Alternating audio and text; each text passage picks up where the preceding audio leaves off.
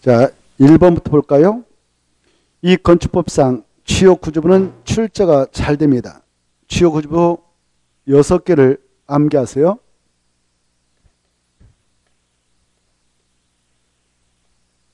암기할 때는 두 문자 따서 내기, 뭐뭇을 내게 하다. 바보들이 하죠. 땅을 많이 가지고 있는 지주들이 합니다.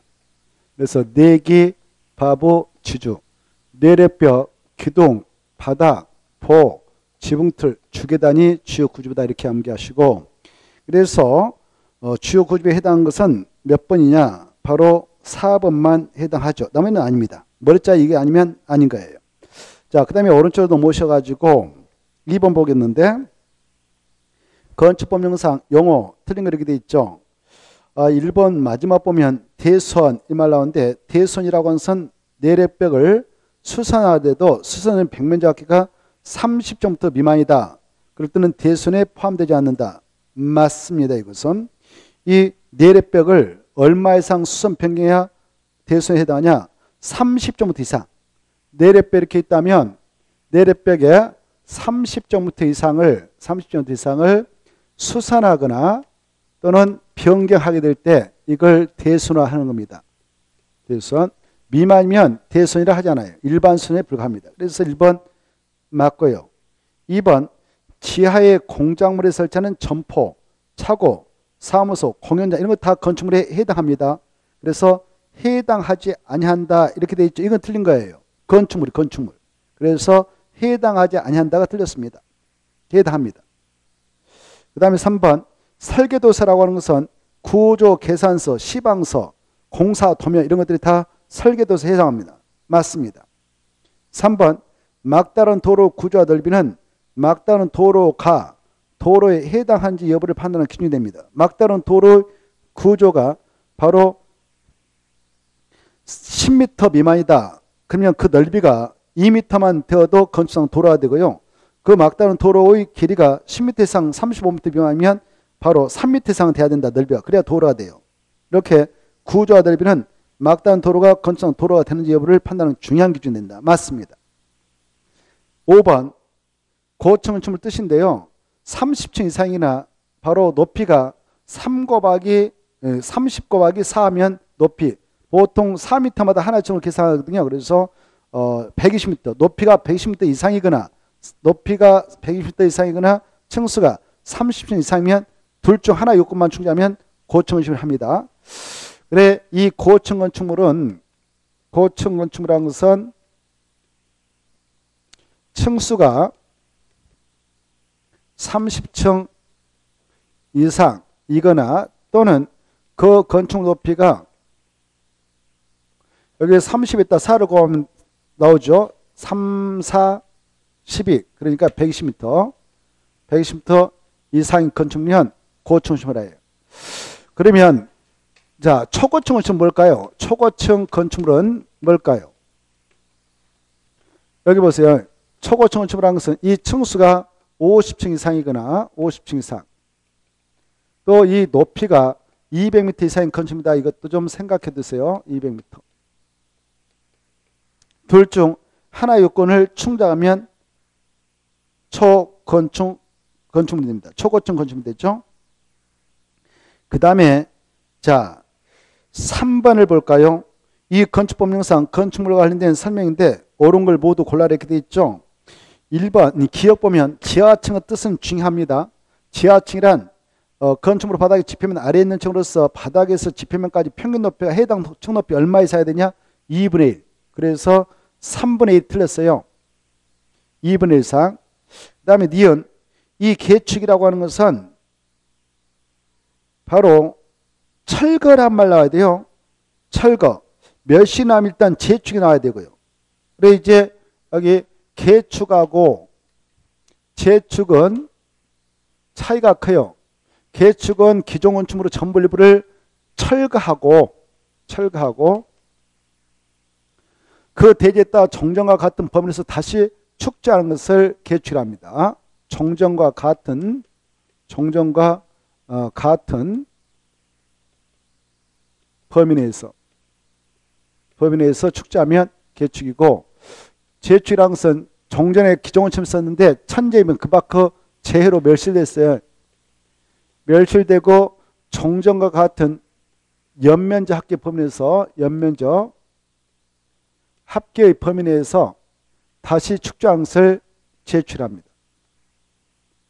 내에서 다시 축제하는 것을 바로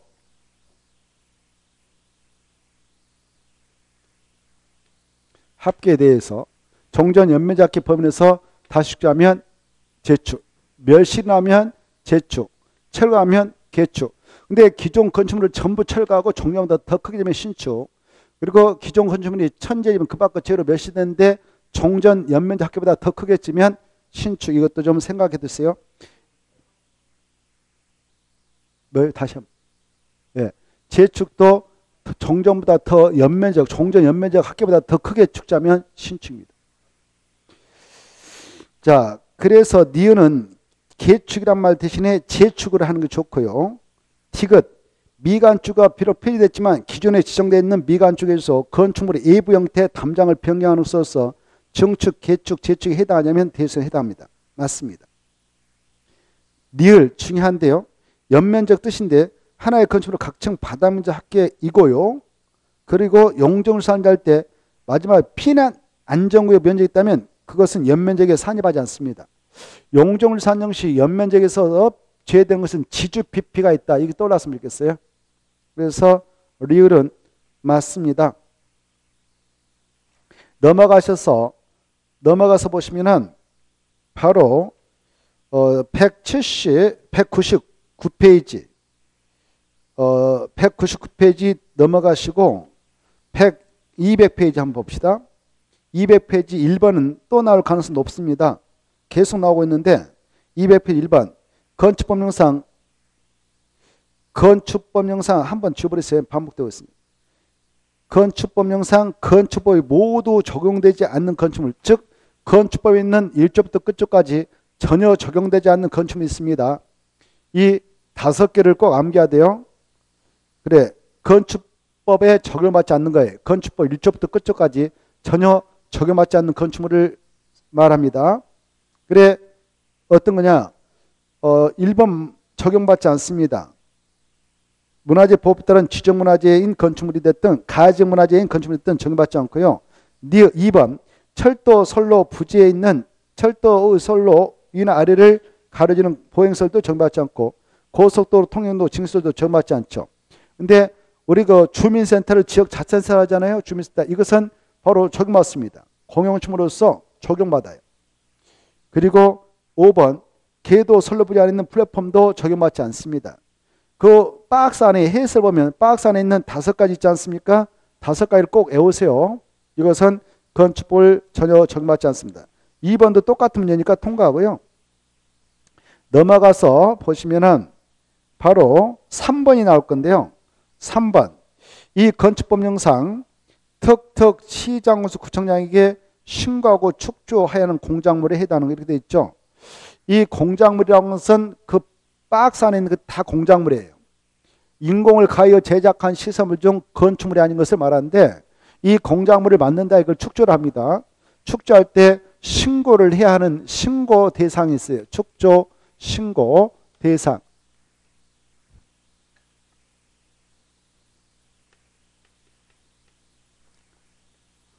축조 신고 대상 있는데 대상 있는데 신고 대상 어떤 거냐? 바로 옹벽하고 담장의 경우는 2m를 넘을 때 신고합니다. 2m. 그리고 강고탑하고 강고판은 4m를 넘을 때 축조 신고합니다. 그 다음에 이 굴뚝, 장식탑, 기념탑, 철탑 이런 것들은 6m를 넘을 때 축조신 거예요. 그리고 이 5m를 넘는 거 신고할 대상이 하나 있어요. 태양 에너지를 위한 발전 설비. 이거 이 정도는 암기하셔야 되겠어요. 특히 이것은 꼭 암기해야 돼요. 옹벽하고 탐장은 몇 미터를 넘게 축제할 때만 신고하느냐? 2m. 이게 제일 중요하고요. 좀 관심 있게 봐야 할 게 있다면 이 요즘에 부각되고 있는 태양 에너지를 발전 설비 이거 몇 미터를 넘게 축제할 때만 신고하느냐? 5m. 그래 이걸 기할 때 이렇게 합니다. 자, 이 신고 대상 공작물을 보고 있는데 축조 신고 대상 공작물을 보고 있는데 이 옹담이가 이거 사광을 했어 사광 사광을 했습니다. 그리고 나서 기분 좋으니까 오 태양이시여 그렇습니다. 그리고 육, 굴, 장기철에게 팔았습니다. 그 사광을 해가지고 그래서 8m 이하인 8m를 넘는 고가수가 나요. 8m 넘는 8m 넘는 고가수 물탱크 고가수가 물탱크입니다. 이 정도는 받으세요. 이용담이가 사광을 해서 육글 오 태양시 하고 육글 장제 팔고 아무튼 이 수치 좀 받으시고 한번 문제 풀까요? 친구하고 축조하여 하는 공작물에 해당하는 게 이렇게 돼 있죠. 자 기념탑 아까 육굴 장기철 그래서 6m를 넘을 때지 이해할 때는 신고할 필요 없어요. 고가수는 8고 그랬죠. 그래서 8m 이해할 때는 신고할 필요 없어요. 아까 강고탑은 4광 그러잖아요. 4m 이해할 때는 신고할 필요 없어요. 담장은 몇 미터 넘을 때 신고합니까? 2m. 그래서 답은 4번이었던 것이고요. 그리고 지하 대표는 30조미터를 넘을 때만 신고합니다. 바닥 30지 그러거든요. 그래서 틀렸고요. 자, 오른쪽에 넘어오셔서 통과 되겠고 넘어가면 204페이지 204페이지 이런 거 통과 되겠네요. 쭉 넘어가셔서 바로 206페이지를 보시면 206페이지 1번 이건 또 출제가 될 수가 있습니다. 바로 용도 변경인데요. 1번은 좀 그렇고 오른쪽에 문제 1번과 2번을 소화하면 문제가 나오면 풀 수 있지 않겠냐 이런 생각을 해봅니다. 1번, 2번은 꼭 소화하도록 그 내용이 계속 나옵니다. 넘어서 온 3번, 4번 이런 거 5번 다 용도 변경이에요. 용도 변경. 그런데 1번과 2번만 제대로 소화하고 들어가면 돼요. 그래 1번과 2번을 소화하면 용도 변경 나올 때 문제를 해결할 수 있겠는데요. 이 용도 변경은 작년에 나왔지만 또 나올 가능성이 높은 파트입니다. 건축법령상 사용승인 받은 건축물을 용도 변경하기 위해 허가를 필요로 하는 경우 이렇게 돼 있죠. 근데 말입니다. 이렇게 건축물이 있다.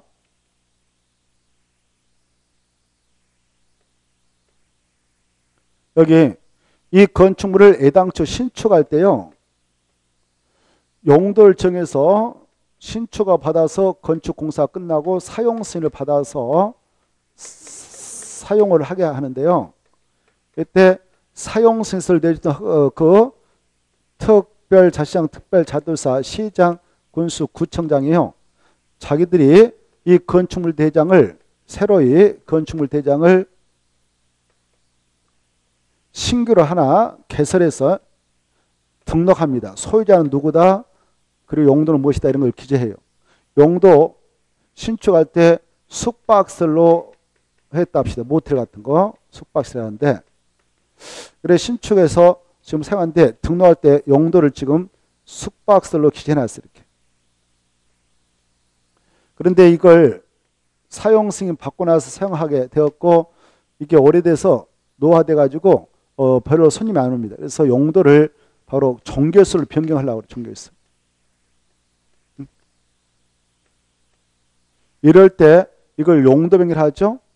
이때 용도병 할때 이때 허가를 받아야 될까 아니면 신고를 할까 아니면 허가 신고 다 필요 없이 할 수 있을까 이런 내용을 체크하고자 할 때는 이 표에 입각해서 처리하는 겁니다.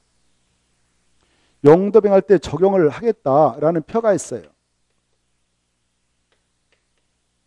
용도할 때 정하는 표. 이게 바로 아홉 가지 시설군과 그에 따른 29개 용도군 표가 있어요. 아홉 개 시설군하고 29개 용도군이 있는데요. 이 위에 배치되어 있는 시설군일수록 상위 시설을 하고 밑에 있는 시설 하위 시설을 합니다. 그리고 위에 있는 시설군일수록 위험성이 큰 시설이고 그리고 밑으로 가면 갈수록 위험성이 적은 것들이에요. 그리고 같은 시설군 것은 위험성의 정도가 같다 보는 겁니다. 이때 이 시설군 중 위에 있는 것들을 두 문자로 따면서 내려가면 자산, 전문 영교 근주구 이렇게 할 수 있어 이렇게 머리 짜다 가지고 자산 전문 영교 근주구 이걸 외워야만이 의미가 있어요. 그리고 이 자동차 관련 시설군은 자동차 관련 시설 있다 이렇게 이 시설에 해당하는 용도도 짝짓기서 암기해야 됩니다. 자자, 산, 운창, 공이, 참여장,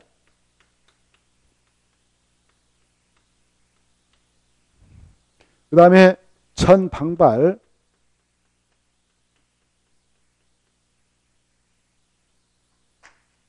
그 다음에 문문 종이관,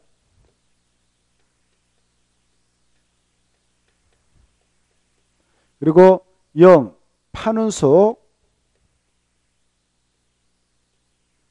제2종 근린생활에서 다중생활설, 그 다음에 교교, 교교, 은호수야,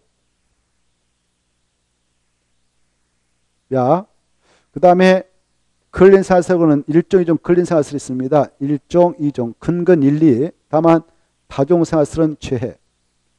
그 다음에 주거 업무 세고는 주주, 업무, 교군 이렇게 체크해 볼 수 있어요. 그 다음에 그동 이걸 표를 암기해야만이 또 의미가 있어요. 그래야만이 문제를 해결할 수 있고 예, 예, 예. 그, 그 밖의 시설군입니다. 그 밖의 시설군. 예. 그, 그 밖의 시설군인데요. 그 우리 기본 세범이 나옵니다. 아홉 가지 시설과 그 표가 알겠죠? 자, 그래 이 그가 그 밖의 시설군 여기는 동물식물 관설 이거이고요. 자, 이 표에 근거해서 이렇게 상위 시설군을 하위 시설군 내려가면서 연대한다. 그때는 신고하면 돼요. 그렇죠? 그리고 하위 시설군을 상위 시설군 올라가면서 연대한다. 그러면 하가 받아야 됩니다. 그리고 같은 시설군 내에서 영대받는다 이렇게 같은 시설군 내에서 영도할 때는 하가 필요 없습니다. 신고도 필요 없습니다. 다만 저 건축물 대장상에 기재되어 있기를 종전 기재사항을 변경해야 되지 않겠습니까? 그래서 이때는 건축물 대장상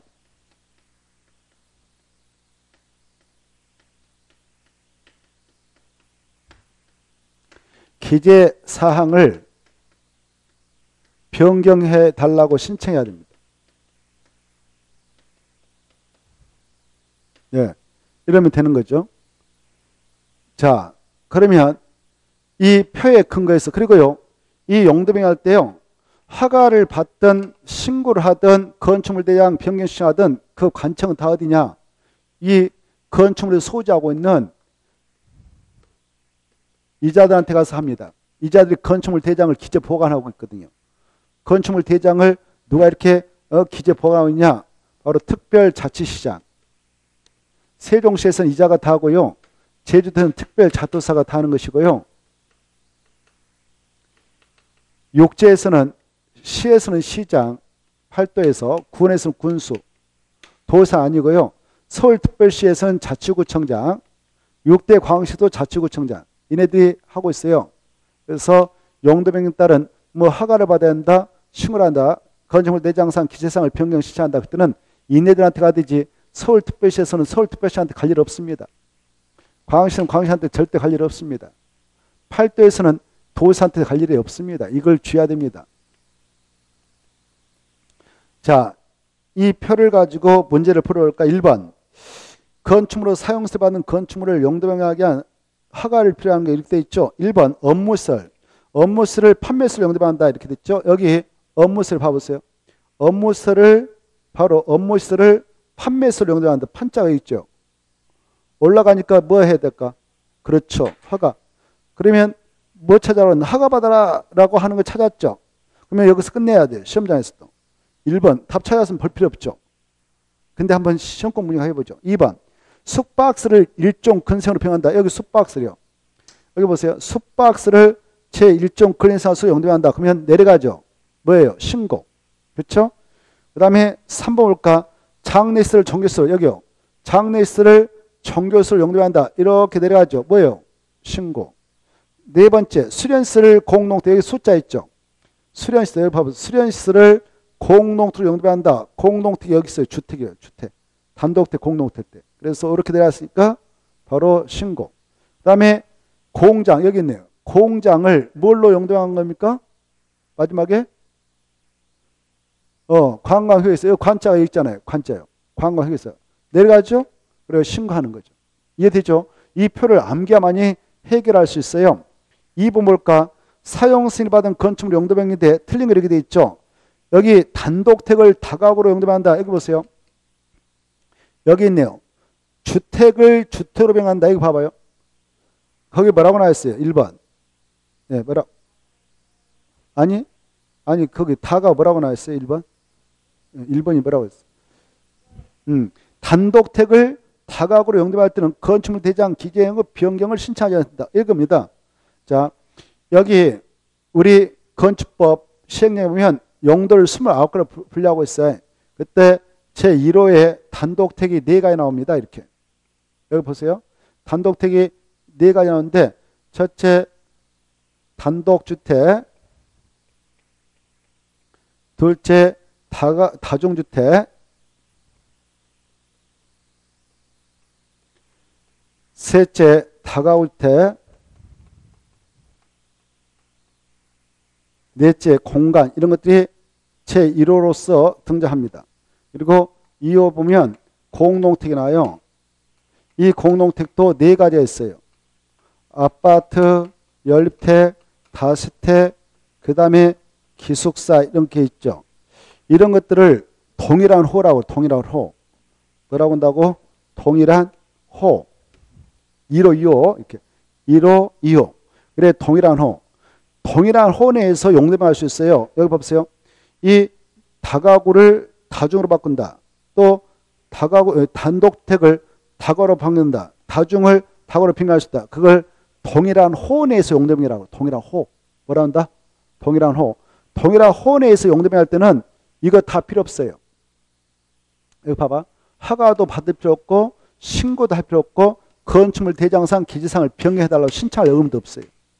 세 가지 다 필요 없어. 아까 동일한 시설군내, 도시, 동일한 시설군 내에서 동일한 시설군 내에서 할 때는 허가 신고 필요 없지만 건축물 대장상 기지상을 변경해달라고 신청할 의무는 있다고 그랬죠. 근데 이것은 동일한 호란 말이에요. 호. 어, 동일한 호 내에서 용도할 때는 세 가지 다 필요 없어요. 허가도 신고도 건축물 대장상 기재상을 평해달라고 신청할 필요도 없습니다. 네? 예, 예. 그래서 2번에 1번 맞아요. 그 다음에 자 2번은 일종 근린생활서 여기 제1종 여기 일종 근린생활서를 뭘로 용도하느냐 의뢰서 의뢰서는 올라가죠. 의뢰서 여기 올라가니까 뭐예요? 화가 이렇게 화가라고 써보고 맞죠? 맞네. 써졌네. 3번 숙박서를 수련서를 변경한다. 여기 해야 되냐? 여기 숙박서를 수련서 변경할 때 내려가네. 뭐예요 이거? 신고. 신고를 하면 된다. 맞죠? 4번 교육 연구소를 판매설 교육 연구소 여기 교육 연구소를 판매설 올라가네요. 올라가니까 뭘까? 하가 올라가니까 하가. 그래서 맞죠? 5번 공장을 자동차 여기요. 공장을 자동차 관리를 용도한다. 이거 뭐예요? 화가죠. 그래서 맞아요? 틀려요? 5번? 틀렸죠? 화가로 바꿔야 됩니다. 이 정도는 알고 계셔야 됩니다. 그래야 문제 풀면 해결할 수 있어요. 자, 넘어가시고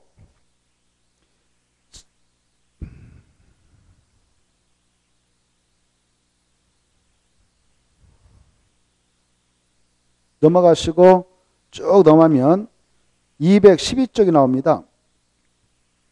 212쪽 보면 1번 건축법상 건축허가의 사정결정이다. 이게 좀 중요한 내용인데요. 자주 시험에 나오니까 좀 잘 체크할 필요가 있다. 우리가 이 건축물을 이렇게 건축을 하고자 할 때요. 건축물을 건축하고자 할 때 허가를 받아야 하는 경우가 있고 가격이 없고 규모가 정상 신고만 해도 되는 경우가 있어요. 건축 신고. 근데 신고 대상 말고 허가 대상일 때만 이런 절차를 우리는 거치할 수 있어요. 정시로 건축허를 신청하기 전에 미리 땅 준비해 가지고 이 땅에다 어떤 용도의 건축물을 허가받아 건축할 수 있으며 자기가 건축을 구상하고 있는 건에 대해서 법적으로 이 건축물을 허가받아 건축할 수 있는지 규모는 얼마까지 가능한지 그리고 위해서 내가 고려할 거 뭐가 있는지 이런 것들 미리 결정 좀 해주세요라고 신청할 수 있어. 결정 미리 결정한다 이걸 사정 결정이라고 그걸 신청하는 것을 사정 결정 신청 제도로 합니다. 네? 사정 결정 신청은 건축 허가 대상 건축물을 건축에 들어갈 때 미리 정시로 허가 신청하기 전에 미리 알아보는 절차예요. 이것은 바로 허가권자한테 알아보는 겁니다. 예. 허가권자가 그런데 누구냐면은 자, 이 일곱 명 있어요. 특별자치시 있잖아요. 여기서 무조건 이자가 다 허가권 행사예요. 세종시에서는 제주도에서는 이자가 무조건 규모와 감시 다 허가권 행사합니다. 특별자치도사가 세종시에서는 특별자치장이 저희는 특별 이자만이 허가권자예요. 그 다음에 육지에서는요. 팔도가 있거든요. 경기도, 강원도, 충청, 남부도, 경상, 남부도, 전라, 남부도 이 팔도에서는 도의사가 절대 허가권자가 아니에요. 이게 중요해. 그래서 사정결정 시작할 때는 허가권자가 아닌 도의사한테는 갈 일이 없어요. 허가권자한테만 가거든요. 이거 누구한테 간다고? 허가권자. 도의사는 허가권자가 절대 아닙니다. 이 도의 시군 있잖아요. 시에서는 시장이 무조건 허가권자요. 군에서는 군수가 허가권자니까 이네들한테 사정결정 시작하지 도의사한테 갈 일은 절대 없다. 이렇게. 네. 팔도에서는. 도의사는 절대 아니에요. 자, 그 다음에 여기 서울특별시 있잖아요.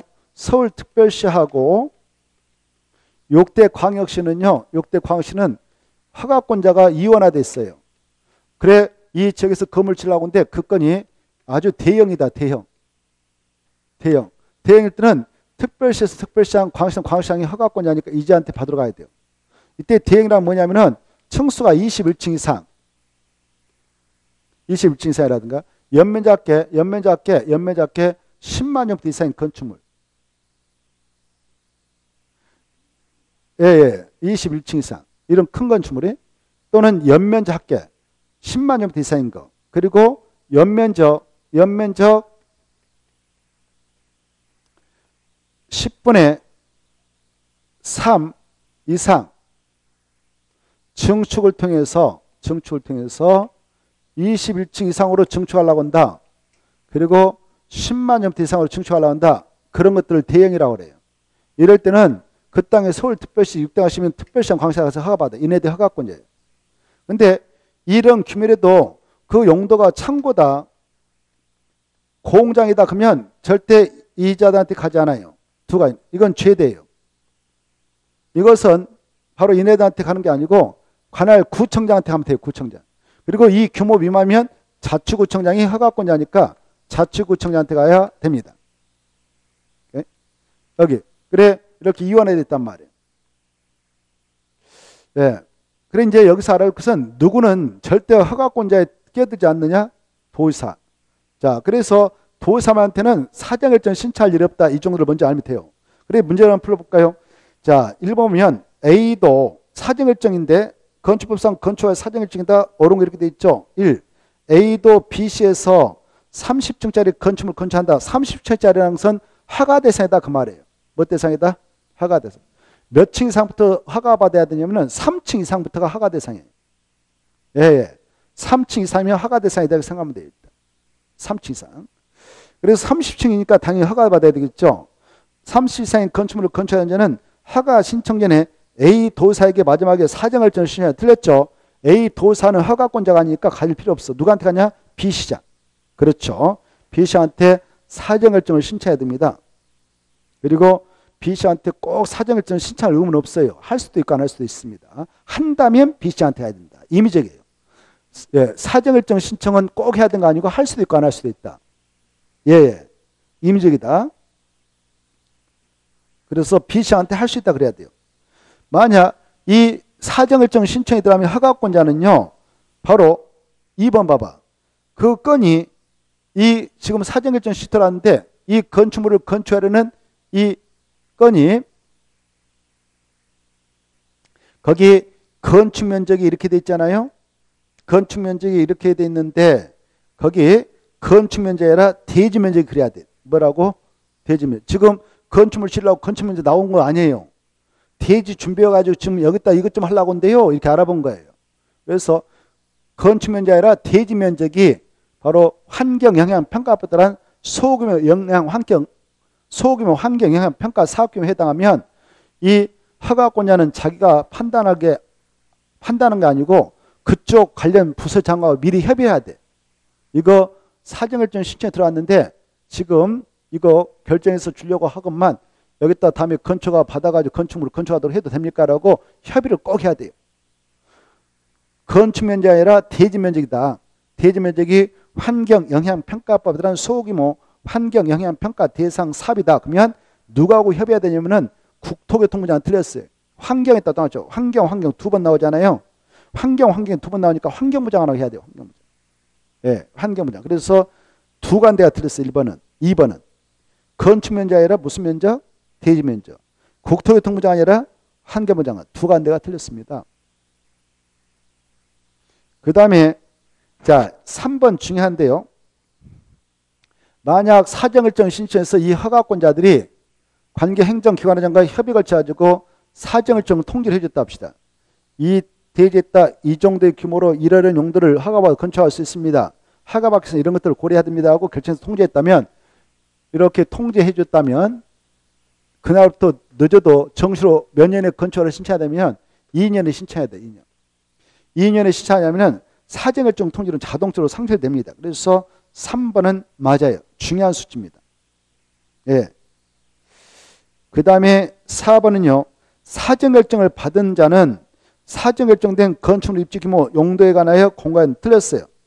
이 사정결정을 받은 자가 공고하는 게 아니에요. 이렇게 해요. 사정결정 신청을 그렇게 써봐. 사정결정 신청이란 말 써봐. 사, 예, 신청. 예, 신청을 받은 자. 네? 이렇게 봐봐요. 이 사정결정 신청은 이 허가대상 건축물을 건축하는 자가 합니다. 근데 받은 자가 허가권자잖아요. 사정결정 신청을 받은 자 그러면 허가권자예요. 사정결정 신청을 받은 자는 사정 결정된 건축물의 입지 규모 용도를 정해서 통지해 주면 돼. 예, 그렇죠. 그래 용도 등을 정하여 신청인에게 통지해 주면 돼요. 신청인에게 통지해 주면 됩니다. 공고하는 게 아니고 통지해 줘요. 신청자한테 알려준다 그 말이죠.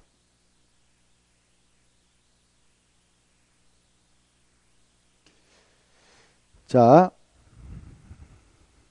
오른쪽 페이지 박스 보면 4번에 그거 써놨어. 오른쪽 페이지 4번. 박스 안에 4번 보면 허가권자는 사전결정 신청받으면 입지, 건축 용도, 규모 등을 사정 결정한 후 사정결정 신청자 날짜라 이렇게 돼 있죠. 4번. 예. 그래서 동그라미 4번 완전 틀린 겁니다. 5번 보죠. 이 사정결정 신청하는 자가 필요하면 자기가 지금 구사하는 건축물 건축인의 심의 대상이다. 교통 영향평가 대상이다. 그러면 그거 알아보기 위해서 동시에 신청할 수 있어요. 그래서 없다가 틀렸습니다. 5번. 있다. 그 다음에 넘어가서 보면 자, 쭉 넘어가셔서 215페이지 03번에 나오는데 03번 건축법상 시장수 여기요. 아까 이 시장수가 자기 책에서는 여기 계룡시장 여기 옥천군수 있잖아요. 여기서 무조건 그 시장이 군에서 군수가 허가권자예요. 도산 절대 아니에요. 이때 여기 보세요. 이 시장이라든가 군수가 지금 허가권자에서 허가 신청을 받았어요. 허가 신청서가 들어왔는데 허가 신청서 받았던 건 중 이게 들어왔어요. 이게. 대형이 들어왔어. 예. 대형이 이렇게 자기 시에서 군에서 들어왔다 그러면 이 도사님한테 가서 사전 결정 사전 승인을 받아야 돼. 도사님 이런 거 들어왔는데 좀 승인 좀 내주세요라고 신청해. 그래서 도사가 알았어. 검토해 가지고 승인을 내줄 수 있겠다 그러면 내주고 안 내주고 싶으면 안 내줘도 돼요. 그러면 건축 못 해. 그래서 여기 보세요. 도의사는 허가권자는 아니고 이 시장수가 허가권을 행사하기 앞서 미리 승인해주는 사전 승인권자다 그래. 사전 승인권자다. 이렇게 뭐라고 한다고요? 사전 승인권자. 허가권자 아니고 사전 승인권자다. 사전 승인권자다. 이때 사전 승인을 받게 되는 대상이 대형이 있어. 대형. 뭐가 있다고요? 대형. 그래. 이런 아까 시군에서 이런 걸 지겠더라고 허가신이 들으면 도사님한테 승인 받으야 돼. 여기 보세요. 그런데 이런 대행이라도 용도가 창고다, 공장이다 그럴 때는 사전 승인 받지 않고 시장수가 그냥 자체로 허가권 행사 처리합니다. 이건 절대 사전 승인 대상이 아니다 이렇게 하세요. 알겠죠? 그리고 또 사전 승인 대상이 뭐가 있냐면은 이 도사님이요 미리 이 시군 지역에다 시면 시 군이면 군 지역에다 도사님이 야 여기서 나한테 너 허가시험 되면 나한테 승인 받으러 와야 된다라고 지정 공간 장소가 있어요. 그때 지정 공간 때에 어떤 목적 가지고 지정했느냐에 따라서 사전 승인 대상이 달라진데 여기 학교 근처다 주택가 근처다 그래서 주거 환경을 보호하기 위해서 주거 환경을 보호하기 위해서 아니면 교육 환경을 보호하기 위해서 지정 공고했다면 규모와 강시 그 위락설하고 숙박설은 승인을 받으러 가야 됩니다. 네, 약자로 이수기라고 그래, 이수기. 네, 그래. 그게 중에 위락설하고 숙박설은 주관경 교회를 위협할 소지가 있거든. 위락설은 우리가 건축법령에서 공부하기를 어, 유흥주점, 카지노업소, 무도장, 무도학원, 단란 주점점 바다면 잡게 150m 이상에서 말해요. 이런 것들은 바로 건전한 사람이 이용하기보다도 좀 그런 사람들이 이용한다고 해서 이런 것들이 주택가 학교 근처에 등장하면 좀 문제가 돼요. 그래서 주관경 교할 유발 소지가 있다고 야 여기에는 그런 거 건축가 신청 들면 나한테 승인 받으러 와야 된다라고 규제해 버릴 수가 있어 도시가 승인 받아야 돼. 승인 안 되면 건축가 행사할 수 없습니다. 그리고요 이 시애각지대에 산 좋고 물 좋은 데 있잖아요. 그걸 자연환경 보호하자 그리고 수지를 보호하자 약조로 자수 자수 자수를 위해서 도사 치종 권장, 공간 장소에 있어. 이런 두 가지 목적을 가지고 지정했다면 3층 이상이거나 연매작계 1천제곱미터 이상인 거, 1천제곱미터 이상인 다섯 가지는 승인받아야 돼. 약조로 위수기하고 일학수 숙박설 그리고 011 공동택하고 일반 음식점하고 일반 음식점하고 일반 의무설 이렇게 그 다섯 가지를 승인 대상으로 설정하고 있습니다. 그걸 알고 있는가를 자주 물어보니까 알아주셔야 돼요. 3번 문제 풀어볼까? 건축법 신상 시정수가 건축화를 하기 위해 도사의 사전 승인을 받아는 건축물 이렇게 돼 있죠. 1번은 공장 아니에요. 규모가 강시 아니에요. 2번 창고도 아니에요. 볼 것도 없어요. 깊은 데가 그거도. 3번 그리고 5번 봐봐. 자수 3번 자, 수 5번 수 자수가 나면 3층 이상이거나 연매작게 1천 정도 이상해야 돼. 둘 중에 하나야 돼. 그러면서 바로 유수 011 그래서 아까 근데 3번 보면은 902면서 2천밖에 안 되죠. 그래서 3층 미만이고 1000점부터 미만이잖아요. 해당상 아니에요 이거. 승인받을 필요 없어요. 그냥 시장소 알아서 처리하면 돼요. 5번 볼까요? 5번도 3층 이상이나 연면적 1천점부터 이상해야 되는데 그게 미달됐죠? 사전승 대상이 아니고 알아서 시장소가 처리하면 됩니다. 4번 주거 환경이 나왔고 교육 환경이 나오면은요. 바로 규모와 관계없이 이르 이수기는 무조건 승인받아야 돼. 그렇죠. 그래서 도사 지정 공간 장소 하면 이수는 승인받아야 하니까 4번만 승인 대상이 됩니다. 넘어가시고 자 218페이지 218페이지 보면 6번이 나올 거예요. 그 앞에 있는 문제는 다 똑같은 문제예요. 기출 문제인데 계속 반복되고 나요. 6번을 체크하면 다 커버할 수 있어. 6번 보면 건축법령상 건축과 제한 등 틀린 게 이렇게 돼 있죠. 이 허가권자는 아까 이랬습니다. 건축법상 건축 허가권자는 7명 있다고 그랬잖아요. 이네들도 우리가 허가권 구비해서 허가 시하면 지네도 법에 구속단에서 허가권 행사해서 허가 내줘야 돼. 이게 원칙이에요. 그러하다 보면 어느 적에 바로 한 번에 같은 종류의 건축 많이 탄생해서 공실이 발생할 수 그러면 국가기는 손실 커. 빈집 많이 속출하면. 그래서 야 여기선 당분간 이런 용도의 건축물 지겠더라 허가시는 그러면 너네들 허가권 행사하지 마. 라고 건축화를 제한할 수 있도록 하는 규정을 두고 있습니다. 이미 또 허가 받아갔던 건 야 당분간 착공 신고 들면 착공 못하게 제한해 라고 착공도 제한할 수 있는 규정을 두고 있어요. 그리고 그 지역을 당분간 어떤 보존 조치해야 된다. 국방상 어떤 시설 처리해야 한다.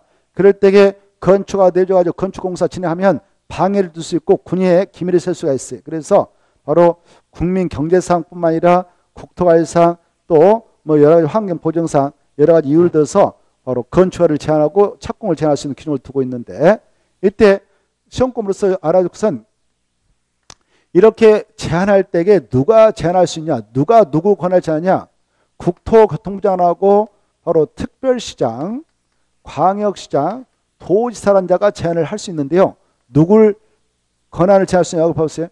이 국토교통부장은 허가권자 7명 있었거든요. 7명 다 어르신입니다. 대장이죠. 그래서 국토교통부장은 허가권자 7명 다 제한할 수 있어. 제한할 때 제한, 야 너네들 당번 허가권 행사하지 마. 착공 신고 들으면 착공 수리하지 마. 이렇게. 자 착공 신고 수리하면 이렇게 제한할 수 허가권자 거다 제한할 수 있습니다.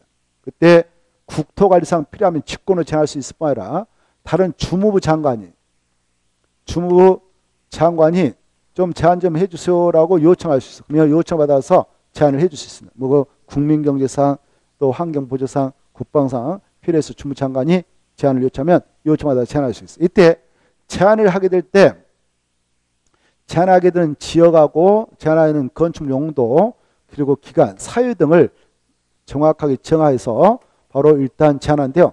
제한해가지고 이 허가권자한테 통보해줘. 그 지역에 허가권자 통보하면 허가권자가 받아서 그 사실을 우리가 알도록 공고해 줍니다. 이때 키포인트는요.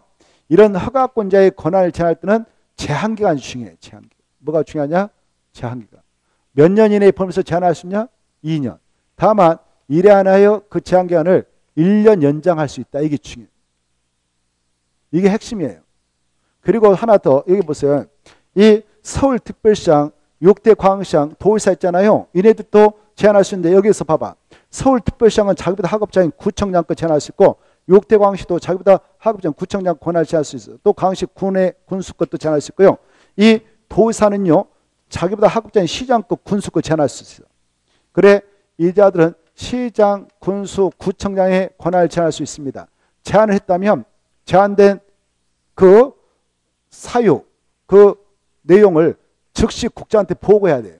보고받았던 국장이 검토한 결과 너무 제한이 지나치다라고 하면 야 그거 빨리 풀어줘라 라고 해제할 것을 권고할 수 있어 권고. 아 권고 아니라 틀려. 권고하면 틀리고 명할 수 있다 이게 중요해. 뭐할 수 있다고요? 명. 권고로 이렇게 시험에 나왔는데 틀리고 권고는 타일름에 불과하고 강력성이 없기 때문에 밑에 사람이 안 따라도 돼. 그러나 명은 명령에 앞서서 권력자 행정장이 따라야 됩니다.